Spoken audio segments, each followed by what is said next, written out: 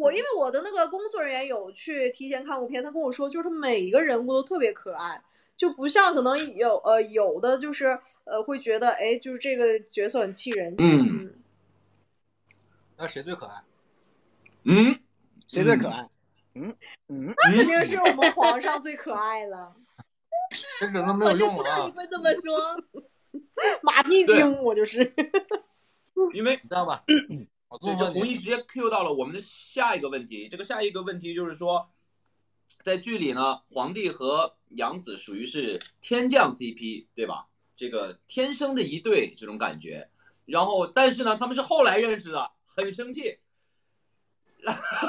金凤和后来居后来应该是居上这个嗯两小无猜，青梅竹马，对不对？所以问一下在在座的各位，首先先问你啊，算了，你不用回答了，你刚才已经回答完了，你这太气人了。你在回答你在回答皇上的时候，心里有没有那么一瞬间闪过一下于长牙的？他非得问。嗯，就是只能说于长牙，你永远是我最好的朋友，就是于长牙，你是个好人，你是个好人，你很善良。所以输在了哪儿？输在我的地瓜不是干儿，是吧？但是你也在吃地瓜。我我在吃我我在吃煮地瓜。哦嗨，问问各位，比如说嗯，问问皇上，在这个这种天降 CP 啊和青梅竹马里，你弘毅你有青梅竹马吗？你有发小吗？没有，没发小，那你应该怎么理解这个青梅呢？你有青梅吗？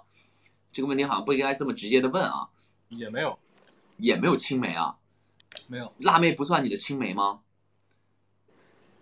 你咋不说她是我辣溜溜美？没事儿吧？皇上觉得呢？加一加一，不是吗？我觉得青梅竹马很容易变成亲人，可能。嗯，嗯，嗯，就是如果分手之后，可能朋友都做不成就对很难受这种。那你分手之后也可以做成亲人吗？你好极端啊，国成。是吗？那你你是怎么不极端的呢？我听听。不是，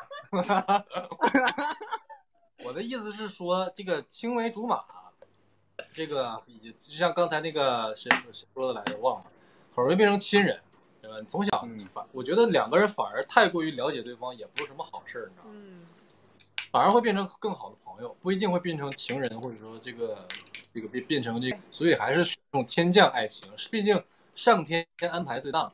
嗯，OK，李弘毅跟郭成都还挺好笑的，就他们两个那个搞笑的点不太一样，你知道吧？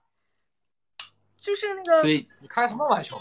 就是你知道李弘毅的那种好笑，就是他，嗯，怎么形容？就是很很冷的那种，就是就很好笑。